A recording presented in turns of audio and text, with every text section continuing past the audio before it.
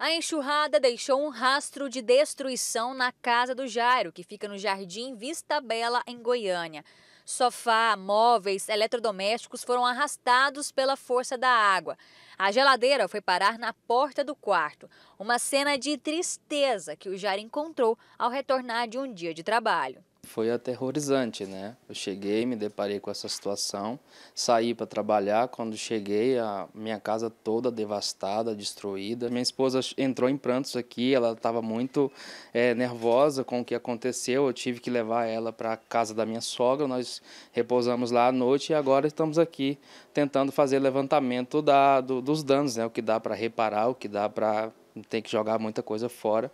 Na hora que a casa foi invadida pela água, um vizinho até tentou ajudar. Ele correu para dentro da casa, só que quando chegou aqui já não tinha como fazer muita coisa, porque tudo já estava inundado. A água, se você olhar ali, está ao nível de uns 40 centímetros do chão, tudo já tinha sido arrastado, devastado, então não dava para socorrer muita coisa. Né? A enxurrada foi tão forte que também atingiu o fundo aqui da casa do Jairo. Veio trazendo detritos, terra, lama, documentos importantes, ó, ficaram debaixo da terra, debaixo dessa enxurrada toda. E aqui alguns objetos né, acabaram ficando submersos na água. O tanquinho, a máquina também, que não funcionam mais. Mais prejuízo para essa família. A água que entrou na casa do Jairo estava represada nessa área do aeródromo de Goiânia por causa da chuva. O muro não suportou o volume de água e caiu.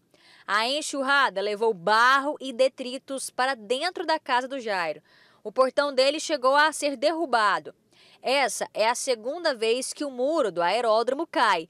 No ano passado, uma outra parte também cedeu.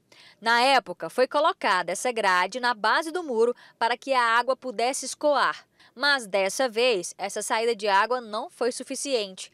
Por enquanto, Jairo está pensando no que fazer. A gente precisa primeiro fazer reparação né, da instalação, até para entregar, se for sair daqui, para entregar nas devidas condições para o proprietário. Né?